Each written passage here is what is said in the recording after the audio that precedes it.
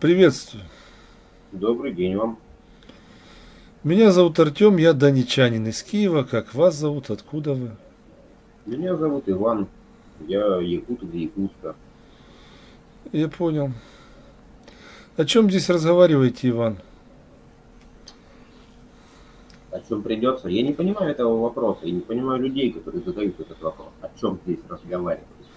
Ну, люди, вот, кто-то с определенной целью, он ищет э, собеседников по ры- рыболовле, кто-то по политике, кто-то еще С кем-то можно обсудить литературу, с кем-то можно поговорить про кино, с кем-то можно поговорить про детей, про взаимоотношения между людьми, с кем-то можно поговорить про политику, но я не хочу про нее разговаривать. С кем-то можно просто посидеть, поржать и потравить анекдоты. Ну, Ну, а есть люди, которые непосредственно идут с, с определенной темой в чат-рулетку. ну, Вы понимаете?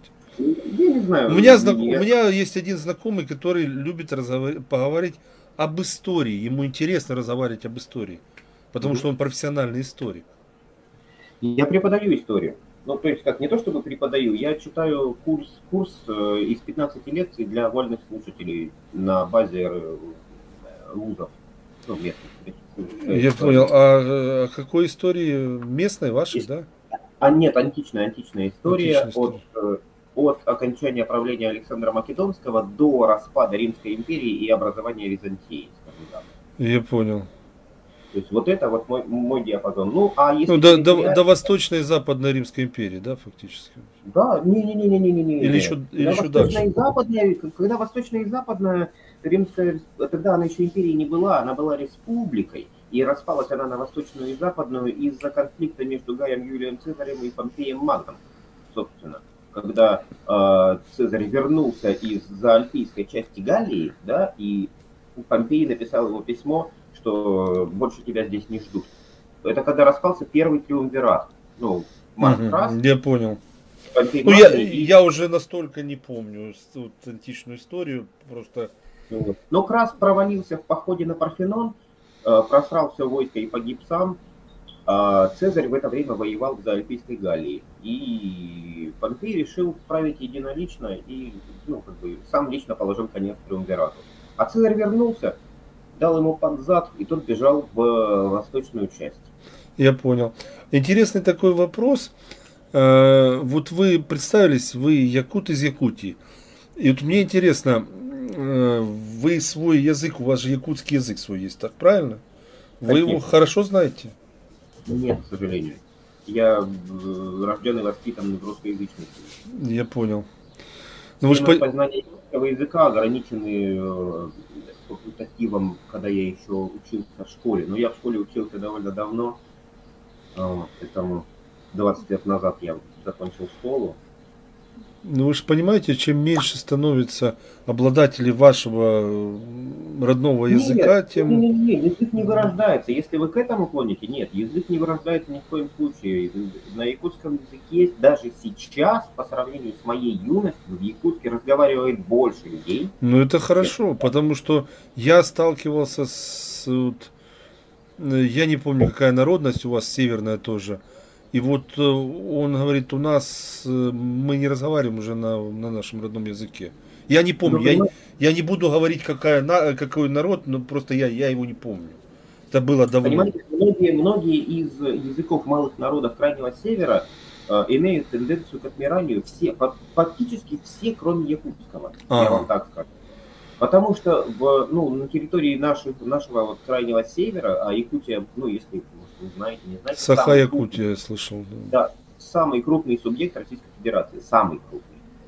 Больше, чем э, Я знаю, что у вас там ал- алмазы добываются. Это больше, слышал. чем Красноярский край, больше, чем, э, ну, чем, чем любой другой. я понял. больше, больше, чем Ростовская область, Краснодарский край, э, Ленинградская область и Московская область вместе взятые, в разы больше. И я понял, я понял. И у нас на территории проживает много малых народностей, такие как э, юкагиры, эвены, эвенки.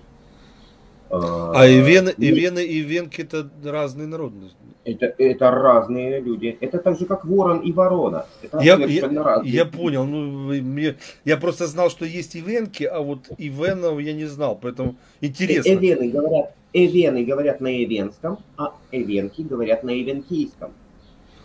Интересно, интересно. Всегда интересно узнать какие-то такие вот моменты, которые Есть- никогда есть не слышал. дол- Есть долганы. Это я, Ну, этих я слышал. Долганы. Есть немцы. Немцы, но немцев мало. Немцы больше, больше чуть-чуть на запад от нас. Но все-таки восточная Сибирь. И вот они говорят на вырождающихся языках. Да, потому что они ассимилируются. И поселения очень малы, ну и их реально очень мало. У нас даже в... Я помню, когда я учился в школе, были, ну, бы, середина, конец 90-х, у нас э, школьникам, вот, ребятам, кто был из малых народностей, им в школе были положены особые стипендии. То есть они получали, э, это называлось, нет, это даже называлось не стипендия, это даже называлось пенсия. Ну, это я слышал там за северные, что это северным народам выплачивали, выплачивать. Но вопрос просто в том, что э, сначала Российская империя, э, фактически и Советский Союз прогеноцидили эти народы, а потом начали выплачивать. Ну, Нет, нет, нет. ну, смотрите, Нет. чуко- чукотские же войны были. Тут не так все дело обстоит, понимаете? А, ну, если мы копнем в 17 век, да, где-то 1630-е, ну, даже, допустим, возьмем, начнем За- с 1600 Завоевание севера. с 1620-х годов. Да, тогда прискакали казаки, собственно, под руководством э, там, ну, легендарные были Ермак, э, Емельян Ярославский, э, кто еще там, э, Коростелев, э, Семен Дежнев, Хабаров, Емельян да, Хаб- или как-то. Емельян Хабаров, да. Вот. Но они двинулись чуть-чуть туда, ну, южнее. Там, где сейчас у нас Владивосток, Приморский край и, Мгм. и то, что называется Дальним Востоком. Я понял. А на севера пошли самые отбитые. Семен Дежнев и Емельян Ярославский.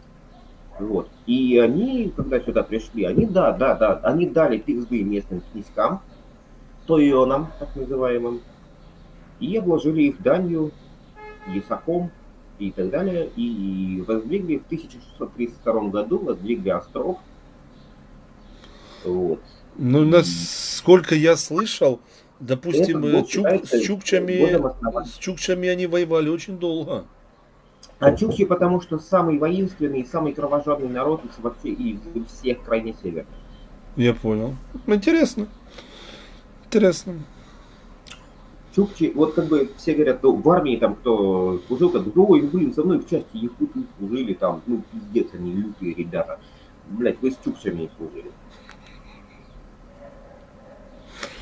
Ясно. Интересно. Ну, Вот. И 1632 год является годом основания моего родного города. И во многом, во многом, вы знаете, надо сказать, что якуты и по сей день признательны приходу советской власти. Казалось бы, да, ну, нелогично, страшно, это по- покушение на суверенитет, там, да, и все такое. Но суверенитет Республика Саха-Якутия все-таки обрела при распаде Союза, да, когда у нас стали не АССР, автономные социалистические республики, да, а каждый мог именоваться там какой-то край или какая-то область, и только Якутия осталась республикой. Объявили суверенитет, сохранили... ну, респу- республика Саха-Якутия, да, насколько я помню. Да, да, республика Саха-Якутия. Вот ее герб.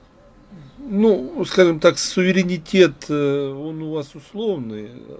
Условный весьма. Мы, конечно, во многом зависим от, э, от, от центра От- от- федерации. Э, от, э, скажем так, более правильно, центр от вас очень сильно зависит, потому что И у вас, доб- у вас добывается огромное количество ресурсов, к- и основная масса денег остается в Москве.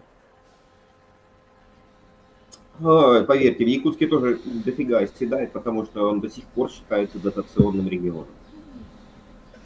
Э, донатором или или Дотационный регион в него. В Ну, него донатят. А, и, не- знаете, кстати, знаете, почему, тогда я могу объяснить, почему он, называет, он считается дотационным регионом. Потому что осно- основная масса компаний, которая у вас добывает, зарегистрирована где? В Москве и в Питере. И поэтому Мгм. те, они платят налоги там, И получается, эти налоги проходят мимо вашего бюджета. И потом с этих налогов там вам, вам идет дотация. Не-не-не-не-не-не-не-не, неправильно. Э, Алроса, крупнейший добытчик алмазов, да, Алроса, Саханефтегазсбыт зарегистрированы в Якутии, конкретно резиденция в Якутске. Руководство, у них даже в руководстве, блядь, якуты. Алроса. Сейчас, так. А, Юра адрес. Юридический адрес Алроса. Да, у вас вот Алроса как раз у вас в Сахе зарегистрировано. Не, э, слово Саха не склоняется по падежам. О, извините. Извините, я не знал. И еще как, какую компанию вы называли? Нефтегаз. Саха нефтегаз. Саха нефтегаз сбыт. Ага.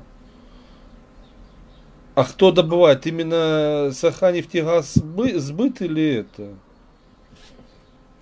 Или же... Этого не знаю, не вникал, но вот по золоту Алдан золото. Можете посмотреть Алдан золото.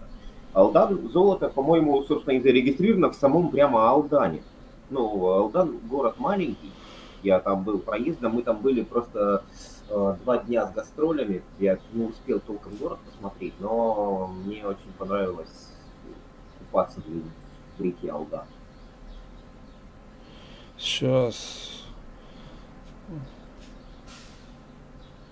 Больше. Э, Просто интересно, э, добыча нефти Саха, Якутия, Якутия. Я. Да, то, что я и говорил. Э, смотрите, у вас получается э, э, компания ТАС Ю, Юрях нефтегаздобыча, которая входит в нефтегазодобывающий комплекс НК Роснефть, открыла крупное нефтегазоконденсационное месторождение на территории Республики Саха-Якутия. И вот получается из-за того, что она входит в состав э, Роснефти, а Роснефть зарегистрирована в Москве, вот вы теряете вот это огромнейшие, огромнейшие налоги, которые уходят в Москву. И поэтому ну, и ва- ваш регион якобы считается дотационным. Хотя то, потом, я просто смотрел э, количество вашего населения, там оно не такое большое. И... Ой, у нас там полтора человека на 10 квадратных, на 10 тысяч квадратных метров. Да, я, я всегда смеюсь, говорю, у вас, говорю, три человека, э, не, на, на 400 километров э, два человека и пять медведей. Угу. И вот получается на то количество населения, которое у вас есть, и, и те объемы добычи всего, что у вас там происходит, ребята, вы бы были бы северным, северным э, Дубаем. Р- разве, разве что этих э, бассейнов бы не было. Ну, бассейны были бы крытые все, потому что холодно. Я знаю. Ну, в общем, эта тема такая, не, не, не, она не, не, не, не ваша, я понял.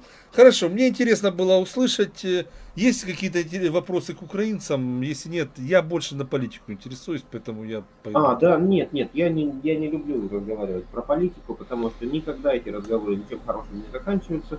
И у, у себя в, на моих уроках э, я э, есть у меня запретные темы, даже когда я веду дискуссионный клуб, например, есть темы, которые поднимать нельзя. Это криминал, это религия и это политика. Потому что дискуссионный клуб превратится в очередное говенное ток-шоу Первого канала. Соловьева. Да, где кто, где кто кого переключит не выслушать собеседника, а где кто кого перекричит и еще скажет потом, типа, типа псевдокорректно. Извините, я вас не перебивал, когда вы говорили? Это вот это вы меня тоже сейчас не перебивайте. Дайте мне, дайте, да, да, да, да, дайте мне закончить. Хорошо, я побегу дальше тогда.